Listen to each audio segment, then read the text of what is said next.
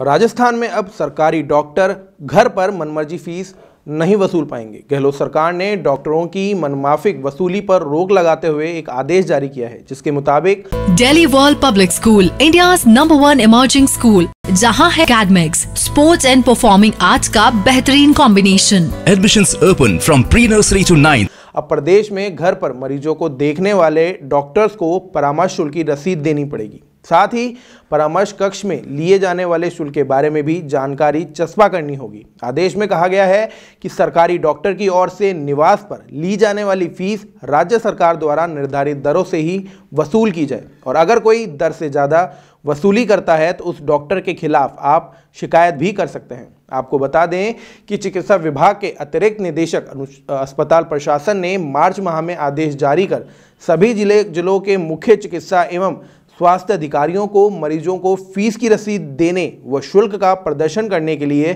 पाबंद किया था। चलिए अब आपको बताते हैं कि आखिर परामर्श शुल्क है कितना?